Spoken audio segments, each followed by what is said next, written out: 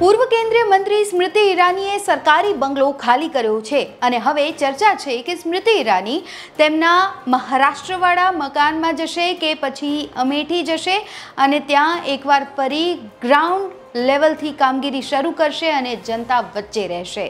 આ જ મુદ્દા પર આજે આપણે આ રિપોર્ટમાં વાત કરવાના છીએ કારણ કે બે હજાર ચૌદથી સ્મૃતિ ઈરાની પાસે આ બંગલો હતો અને તેઓ તેમાં આશરે દસ વર્ષથી રહેતા હતા. પરંતુ હવે તેઓએ આ બંગલો ખાલી કર્યો છે. ત્યારે સૌ કોઈની નજર અત્યારે મંડાયેલી છે કે સ્મૃતિ ઈરાની ક્યાં જશે.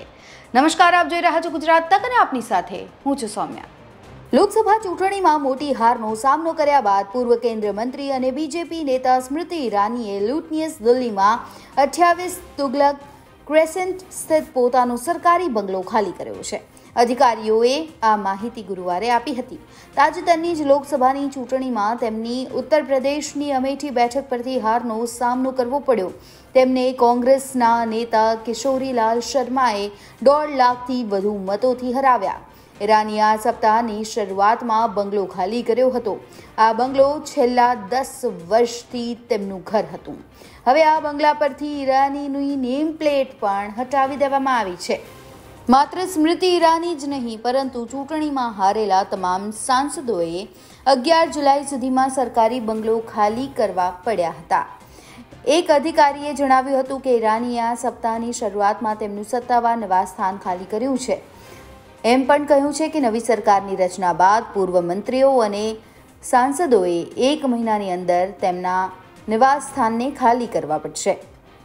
બે હજાર ચોવીસની સામાન્ય ચૂંટણીમાં સ્મૃતિ ઈરાનીએ લગભગ ત્રણ લાખ બોતેર હજાર વોટ મેળવ્યા. જ્યારે કોંગ્રેસના કિશોરીલાલ શર્માને પાંચ લાખ ઓગણચાળીસ હજાર વોટ મળ્યા. કિશોરીલાલ શર્માને કોંગ્રેસે પહેલીવાર લોકસભા ચૂંટણીમાં ઉતાર્યા. ચૂંટણી પહેલા ઈરાનીએ કોંગ્રેસ નેતા રાહુલ ગાંધીને અમેઠીથી ચૂંટણી લડવાનો પડકાર ફેંક્યો હતો. પરંતુ કોંગ્રેસે અમેઠીથી પાર્ટી કાર્યકર કિશોરીલાલને ટિકિટ આપી. જ્યારે રાહુલ ગાંધી રાયબરેલીથી ચૂંટણી લડ્યા.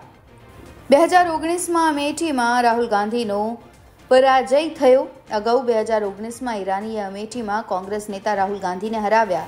જો કે તે ચૂંટણીમાં રાહુલ ગાંધીએ કેરળની વાયનાડ સીટ જીતી. ગાંધીએ વાયનાડ અને અમેઠી બંને બેઠકો પરથી ચૂંટણી લડી હતી. મહત્વનું છે કે અમેઠીમાં સ્મૃતિ ઈરાનીને જોરદાર ટક્કર મળી છે અને કોંગ્રેસે અહીં જીત હાંસલ કરી છે, જેના કારણે સ્મૃતિ ઈરાનીને આ બંગલો ખાલી કરવાની ફરજ પડી છે. ત્યારે જોવું રહ્યું કે સ્મૃતિ ઈરાની દિલ્હીમાં રહે છે, મુંબઈમાં રહે છે કે પછી અમેઠીમાં રહે છે. અત્યારે આ રિપોર્ટમાં બસ આટલું જ. ગુજરાતના તમામ મહત્વના સમાચાર જોવા માટે અને જાણવા માટે આપ જોડાયેલા રહો ગુજરાત તક સાથે. ફરી મળીશું. નમસ્કાર.